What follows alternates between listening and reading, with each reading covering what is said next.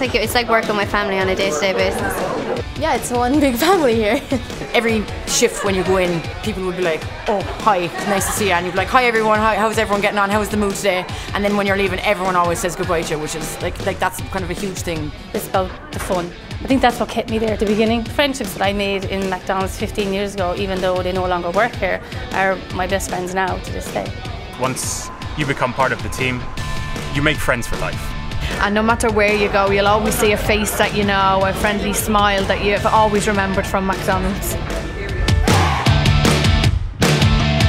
Promotions are there for part timers and full timers. It doesn't matter if you're there for five months or five years. What you put into it is what you get out of it. It's not a dead end job. Within eight months, I went from crew member to shift manager. Within two years of working here, I got offered a managerial position. To be promoted to crew trainer, I, you could do that in six months if you work hard. If you wanted, if you really wanted to work hard and want to be a manager, I'd say you could do that in 15, 16 months. There is opportunities there. You can develop.